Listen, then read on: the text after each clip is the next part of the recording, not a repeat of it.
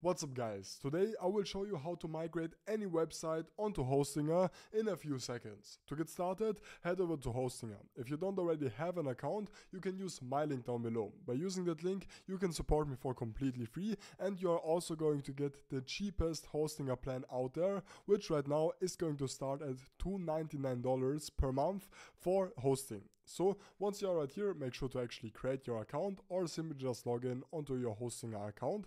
And once you are right here, once you are on the dashboard, make sure to head over to the left right here. Under websites, you can then see all of the ongoing websites. So right here, we for example do have single web hosting available.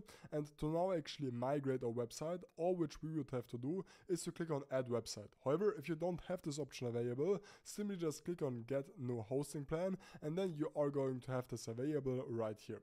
So as I've already mentioned, well, once you have this, just click on add website and then click on migrate website. And then right here we will have to add our domain name, so basically the domain where we want to host our website. I'm just going to select Krause Media and then I'm going to click on next. Right here we will have to select where our audience is located and then once we are going to click on next, this is going to save all of the details. And then you will have to put in the website name that you want to migrate. So I'm just going to select that right here.